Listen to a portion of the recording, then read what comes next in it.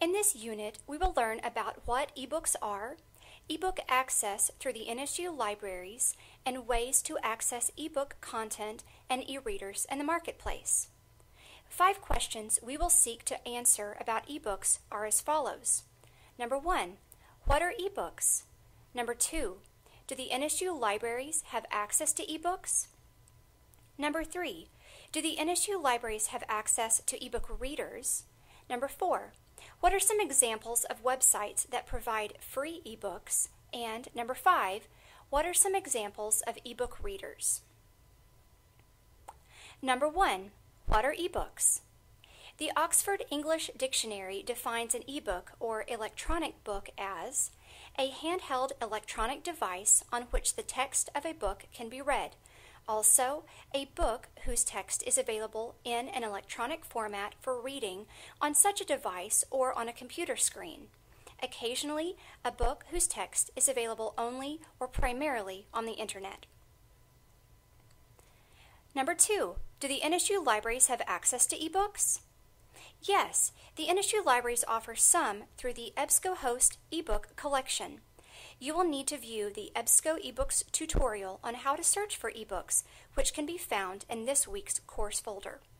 As a reminder, ebooks from the NSU library cannot be downloaded onto an e-reader, but can be read through an internet connection to view them on a computer or a tablet. Think of this as you would streaming a movie on the internet. You can view the movie in its entirety, but not download it permanently. WorldCat is another online resource to identify books and other materials.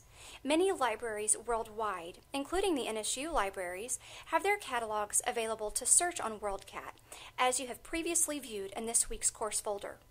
If you see an item on WorldCat you would like to check out that is not available at NSU, please contact our Interlibrary Loan Department and they will assist you in requesting this item to be delivered to you at the NSU campus you prefer. Question number three. Do the NSU libraries have access to ebook readers? Yes, patrons have access to several tablets, which can be used for in-library checkout at both the NSU Tahlequah and Broken Arrow campus libraries. Question number four. What are some examples of websites that provide free ebooks? Here is a listing. From this list, Two of the more popular ebook sites are Project Gutenberg and LibriVox. Both Project Gutenberg and LibriVox allow individuals to freely read or listen to books now in the public domain. Public domain works once possessed a copyright, but through the passage of time, the copyright expired, which now allows anyone access to the material for free and without penalty of copyright infringement.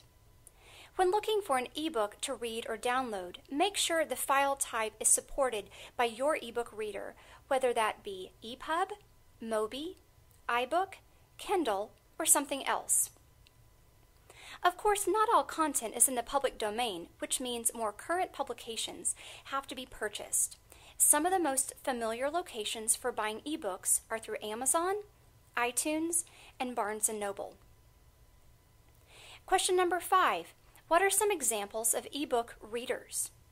There are a number of popular ebook readers currently in the market. Some of these include the following.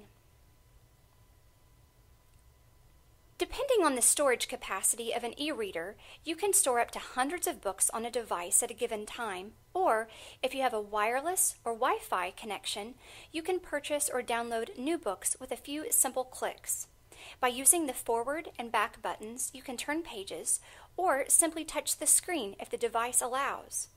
If you pause at a certain point, the e-reader remembers this location and allows for easy access to pick up where you left off, as well as syncing with additional smart devices if you want to read this same content on more than one platform. Additional features of e-readers include the ability to adjust font size and type, search for text, highlight passages, make digital notes, and some have the ability to read text aloud. Some ebooks can be shared with friends or family, much as you would a printed copy of a traditional book. Opinions about ebook readers are still varied.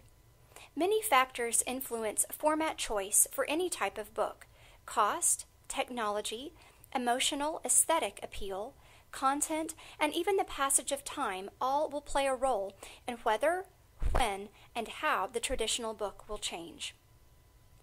As these changes occur, libraries are continually learning new ways of including ebook readers in the services they provide and are finding innovative ways to include ebooks in library collections for patrons to use.